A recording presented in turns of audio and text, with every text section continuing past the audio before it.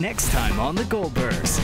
This base, it's mine. Honk! Honk! Honk! Wednesday at 10:30